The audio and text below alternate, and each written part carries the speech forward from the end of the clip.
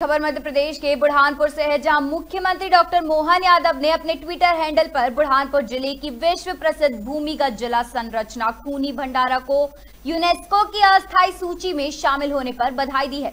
जानकारी के अनुसार यूनेस्को ने अपनी अस्थायी सूची में बुरहानपुर के खूनी भंडारा समेत छह धरोहरों को शामिल किया है। इसके तहत ही स्थानीय विधायक अर्चना चिटनिस ने भी इस विषय में हर्ष व्यक्त किया है। उन्होंने कहा कि सूची में शामिल होने के बाद यूनेस्को की स्थायी सूची में शामिल होने का रास्ता साफ़ हो गया है। अब देशी विदेशी सैलानियों के साथ पानी पर शोध वाले देशी विदेशी शोधकर्ता भी स्थल का रुख करेंगे। बुरहानपुर से गोपाल देवकर की रिपोर्ट। बुरहानपुर, इससे देश और दुनिया में और हाईलाइट होगा अपनी पहचान बनाएगा। पर्यटक देश विदेश के यहाँ आएँगे। हमारी ज़िम्मेदारी उसको और बेहतर करने की व्यवस्थाओं को बनाने की निश्चित तौर पर बढ़ेगी।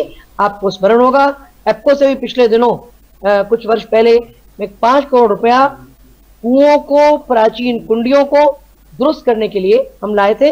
इसी प्रकार के प्रयास और सघनता से सतत करने होंगे।